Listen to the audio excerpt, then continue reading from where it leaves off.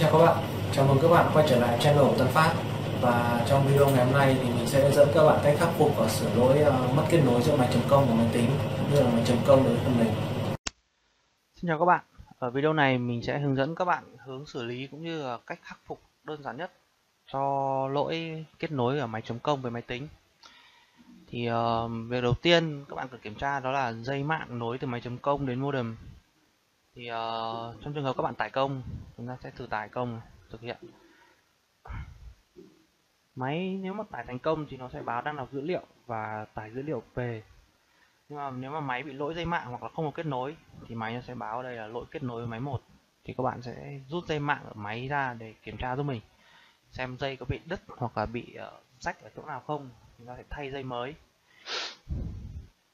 Đây uh, ờ, hiện tại thì mình đang test với một cái dây bị lỗi thì máy nó sẽ báo là lỗi kết nối với máy một. Bây giờ mình thay một cái dây mới vào xem máy nó báo gì. À, sau khi đã thay dây xong thì chúng ta sẽ bắt đầu tải thử công lại. Đó máy đã báo đã kết nối thành công và đã cập nhật được một thành công mới. À, đấy là trường hợp đầu tiên. Sang đến trường hợp thứ hai nếu mà dây mạng vẫn ổn định hoạt động bình thường nhưng máy vẫn bị lỗi kết nối thì ờ, các bạn sẽ kiểm tra IP giúp mình. Thì việc đầu tiên, các bạn sẽ ấn nút cửa sổ trên bàn phím phím cửa sổ cộng R. Chúng ta sẽ mở cửa sổ ờ, terminal lên một cách ấn CMD sau đó các bạn sẽ kiểm tra kết nối trên máy tính. Chúng ta sẽ bước một kiểm tra IP trước. Phải chuột này, Open Network Internet. Chúng ta sẽ chọn mục Network and Sharing Center đây tiếp theo các bạn chọn a change adapter setting. Chúng ta sẽ có kết nối dây ở đây. À, kích đúp vào chọn detail. Đây sẽ có mạng IPv4 đây là mạng đây là địa chỉ IP của máy tính. Sẽ thuộc giải 192.168.100 còn hai số cuối là sẽ chạy tự động. Thì các bạn chỉ cần lưu ý ba cái số đầu ấy ba giải đầu thì đây sẽ chấm 100 tiếp theo đó chúng ta sẽ kiểm tra trên phần mềm.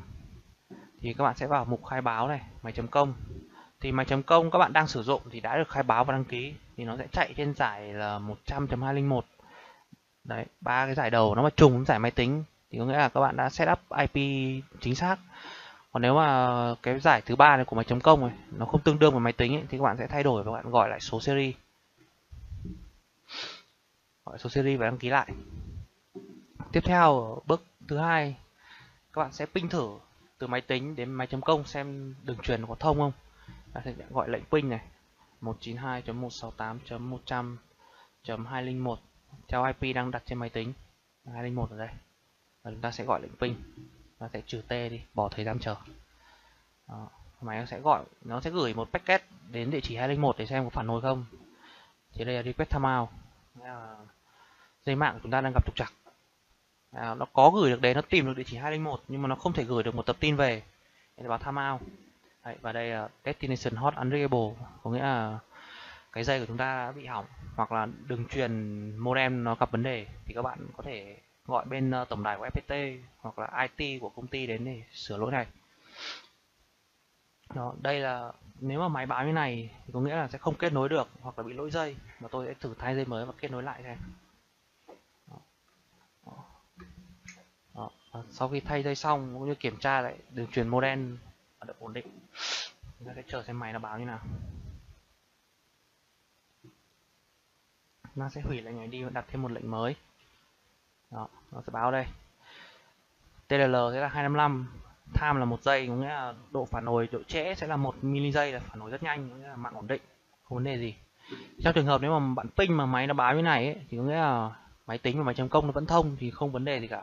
Còn nếu trường hợp mà nó báo như cái dòng ở trên này có nghĩa là cái dây của bạn hoàn toàn hỏng hoặc là modem nó nằm ở giải mạng khác nó không tương đương với máy tính thì rồi các bạn sẽ có thể nhờ IT của công ty hoặc là uh, nhà cung cấp dịch vụ mạng FPT, VNPT họ sẽ kiểm tra giúp bạn. Và nếu mà bạn ping mà nó báo cái request timeout này thì có nghĩa là dây của bạn bị hỏng một trong hai đầu. Thì mình khuyến cáo các bạn vẫn nên thay một đoạn dây mới vào.